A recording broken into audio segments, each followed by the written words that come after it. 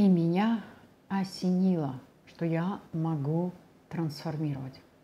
В одном из, дел, из видео девушка меня просит э, объяснить мне, объяснить ей, э, как справляться с негативом, с негативными мыслями, с негативными ощущениями, с негативными э, э, состояниями. И я ей сказала, что избавиться от них невозможно, но можно трансформировать.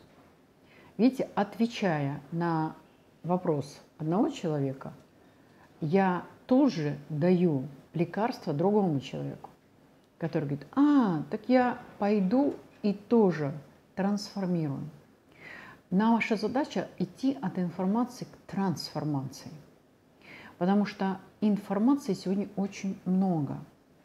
И наша задача не столь знать, как уметь. Потому что ты можешь очень много знать.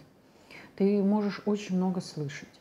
Ты можешь слушать все подряд, но не применять то, что ты слышишь. Ты просто становишься осликом, который тянет на, себя, на себе книги, библиотеку.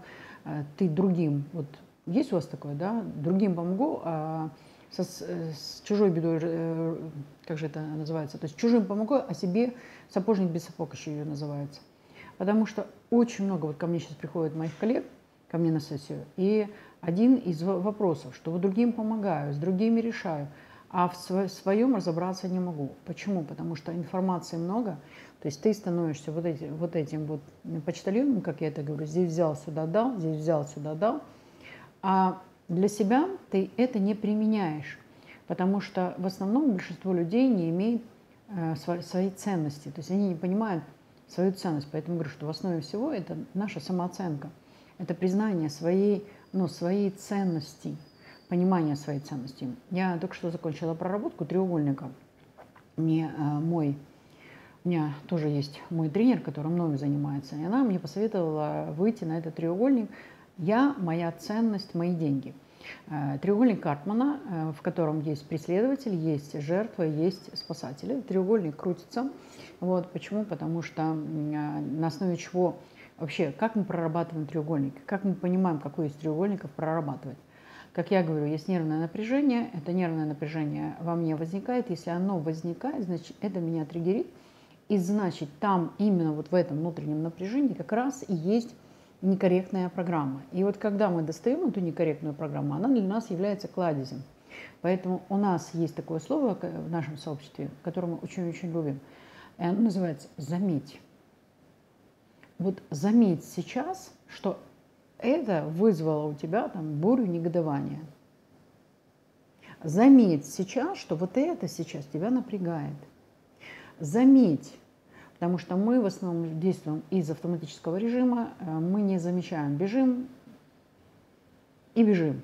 И только тогда, когда большинство людей начинают замечать, когда их накрывают, например, болезни, или э, сильные болезни, или сильно-сильные болезни, или их кто-то оставляет, там э, муж, ради которого она жила, и вот тогда она только начинает заниматься собой, или она, или он.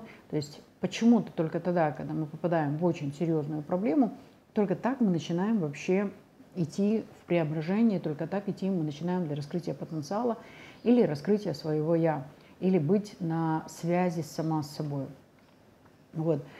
И вот э, почему и нужен тренер, потому что он подсвечивает, да, он вам показывает. То есть ты вот говоришь, ты просто разговариваешь, там, вот мне позвонила, это моя коллега, позвонила, просто разговариваем, просто ни о чем ой, вот, э, вот это у тебя, а у тебя.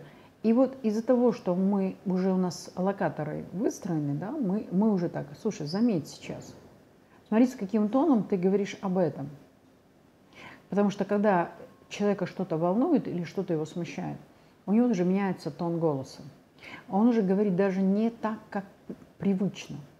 И вот чем и хорошо, что ты имеешь вот такую пару, потому что этот человек тебе так говорит, заметь, обрати внимание, а ты бы хотела в глубину пойти. Так как мы уже все проработаны, то, конечно же, э, такие, эм, такие замечания, они становятся нам благословением, потому что для многих такие замечания, ой, что ты придираешься, да нормальный у меня язык, что ты придираешься, да со мной все хорошо.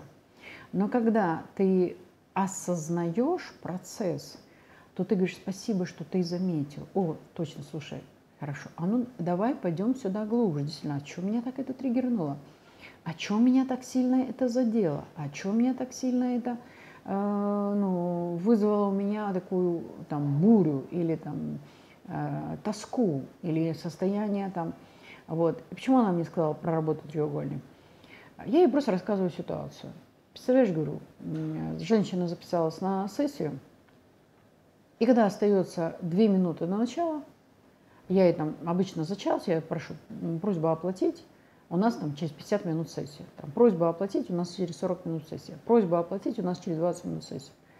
И вот женщина мне э, там за час ей пишу, там, у нас через час сессия, просьба оплатить. Она говорит, хорошо, окей, там проход... Э, остается там полчаса до сессии. У нас остается полчаса до сессии, просьба оплатить. Хорошо. Ну, то есть, если бы человек сразу сказал мне, нет, я не буду, у меня нет денег, или я испугалась, или у меня саботирование, еще, тогда можно было с этим все. И тут остается, я там за 20 минут, за 15 минут, там, за 2 минуты уже пишу ей, за 5 минут, за 2 минуты, и вот там остается буквально 2 минуты до начала сессии, я уже э, прошу ее это сделать. В некоторых случаях я как бы разрешаю оплату после сессии. Но в основном я всегда говорю, сначала деньги, потом сессия. Объясняю почему. Потому что люди, как правило, когда они платят деньги, они уже въезжают, это как они въезжают на коне в эту сессию, и они становятся очень-очень внимательно слушающие, принимающие, э, осознающие. Они входят в процесс очень интенсивно. Люди, которые не платят деньги – ну, они так посидят, ну, то есть они не, не, не до конца входят в ценность того, э, той работы, которую ты делаешь. Это уже замечено много-много раз. Вот. И вот она за две минуты до того, как сессия начинается, она мне пишет. «Э, Галина, у меня нет денег на сессию. И ты такой, что? А ты не могла об этом мне сказать час назад? Ты не могла мне об этом сказать 40 минут назад? Ты об этом не могла мне сказать 20 минут, ты не могла мне сказать 10 минут. И меня это, конечно, возмутило. И вот я разговариваю со своей коллегой, вот, и говорю, вот такая интересная ситуация, говорю, хоть бери, а что это для меня означает? То есть этот час бы я потратила на кого-то другого. У меня уже в очереди стоит человек 10, которые просятся у меня, но больше трех людей в день, но, но, но четыре, но пять это вообще, потому что я сейчас в путешествии, соответственно, у меня уже, уже график расписан, потому что вот мы едем туда, потом едем туда, мы едем туда, едем туда, получается, эта женщина, ну, по сути, крадет у меня час моего времени. То есть я могла бы за этот час взять другого человека. Или за в этот час, не знаю, там, пойти даже покупаться в море. Или там в этот час, там, не знаю, там, э, с кем-то, ну, как-то более полезно время провести. И вот я, значит, вот своей коллеге рассказываю эту ситуацию. И она говорит, заметь, что для тебя это значит? Я говорю, ну, это означает, что человек не ценит э, мой труд, человек не ценит мое время – ну, то, что он не ценит свое время и не ценит э, свою нервную систему, потому что час находиться в нервном напряжении, чтобы потом мне в самом конце сказать за две минуты, не знаю, она не хотела, может, меня обидеть, я, я не знаю, что, что у нее в голове, но я сейчас не о ней, я сейчас вот о себе, о своих триггерных моментах, да, и вот о том, как э, происходят процессы. И вот моя, мой наставник говорит, слушай, иди проработай треугольник. Я мои ценности, мои деньги, потому что э, каждый час моей э, жизни стоит денег. И, соответственно, получается, что она обесценила не только мою работу, да, она обесценила, по сути, мои деньги, она обесценила свои возможности, она обесценила, ну, то есть она как бы взяла и, условно говоря, плюнула как в себя, так и в меня. И вот когда я проработала вот этот треугольник, знаете, настолько пришла глубина понимания, что происходит – и глубина благодарности, что эта женщина, поступив так, вытащила вот там огромное количество, условно говоря, в подсознании змей. Поэтому э, почему очень важно трансформ, проводить трансформации? Потому что когда ты трансформировал не просто так, а, ну, сволочь последняя, вот она так со мной поступила, ах, она скотина, все, в следующий раз я буду внимательна, и за час деньги брать, если за час человек не платит, все, отменять и уже назначать э, встречу с другим человеком. Вот. То сейчас ты совершенно по-другому относишься к этой ситуации.